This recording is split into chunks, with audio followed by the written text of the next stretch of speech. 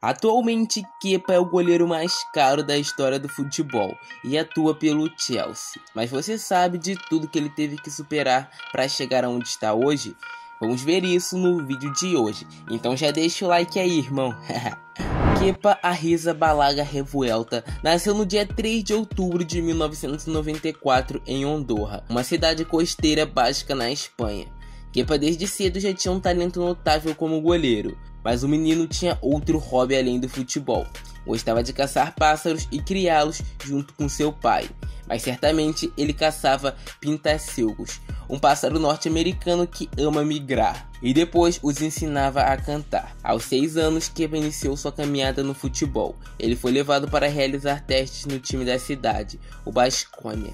Kepa rapidamente impressionou a todos e tempos mais tarde foi aprovado nas categorias de base do Atlético Bilbao. Ele então assinou seu primeiro contrato. Foi nessa mesma época que Kepa se dedicou mais a treinar pássaros. Para Kepa, o ato de amar pássaros o levou para um rumo profissional, que o fez ser multitarefa. Ele tinha que jogar futebol, ir à escola e ainda ter que ensinar seus pássaros a cantar. Tempos mais tarde, entre 2008 e 2010, Keva participou de um campeonato regional de canto de pássaros, no qual seus três pássaros, Ok, Rocky e Raikkonen, ganharam duas vezes seguidas as competições. Keva foi nomeado campeão do Songbirds de Vizcaya. Nesse momento, Kepa já era uma das principais promessas do Atlético Bilbao. Mesmo sendo goleiro de origem, de vez em quando ele se aventurava como jogador de linha. Kepa fazia a função de meio armador e marcava muitos gols. Isso tudo com apenas 14 anos.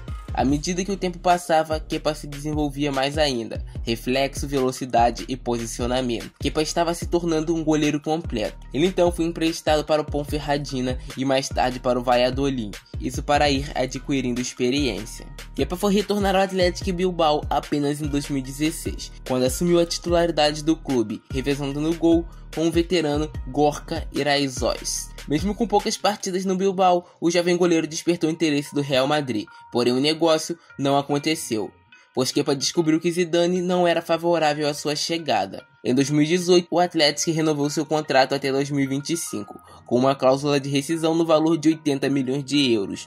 Mesmo com essa multa gigantesca, no dia 8 de agosto de 2018, o Chelsea pagou a multa rescisória de Kepa e o transformou no goleiro mais caro da história do futebol. O valor ainda não é certo, mas segundo os rumores, o seu valor foi de 80 milhões de euros, o que o transformaria no goleiro mais caro da história, superando Alisson, que havia recentemente chegado ao Liverpool. O goleiro foi um pedido de Maurizio Sarri, que pediu Kepa porque ele o vê como alguém que está confortável com a bola nos pés, que se encaixa em seu estilo de jogo. Lembre-se, Kepa foi jogador de meio de campo quando tinha seus 14 anos. Na Espanha, ele é visto como o sucessor de Iker Casillas. Kepa fez sua estreia na Premier League três dias depois, em uma vitória fora de casa por 3 a 0 contra o Huddersfield Town.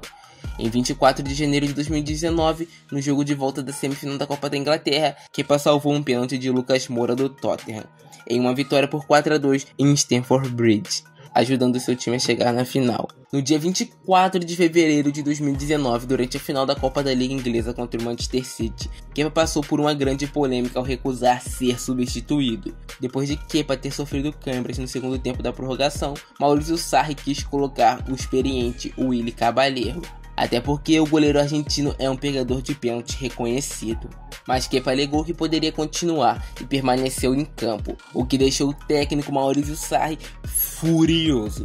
A partida terminou em 0 a 0 e o Chelsea perdeu nos pênaltis por 4 a 3, apesar do goleiro Kepa ainda ter defendido um pênalti dos Sirenses. Após a partida, o goleiro foi multado pelo Chelsea por desrespeitar o técnico Maurício Sarri.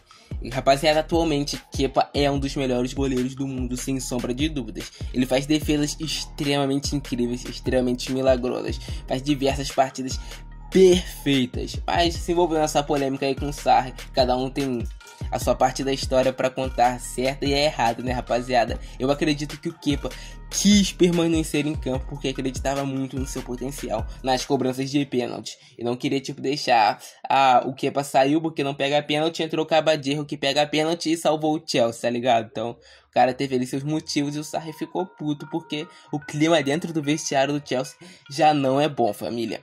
Mas se vocês curtiram essa história aí do Kepa, o cara pegava pássaros na infância, mano. Cê é louco, o cara tem outro talento além do futebol, ganhava vários prêmios e tal. Não se esqueça de deixar o seu like, de se inscrever no canal e ativar o sininho para receber mais histórias de jogadores aqui. Se você quiser comprar uma camisa como essa que o Kepa usa no Chelsea, passe em Foot Outlet, porque, mano, a camisa lá vai vir diferente e você vai começar a pegar demais no gol. Por hoje é isso, grande abraço, Francesco. É nóis. Fui!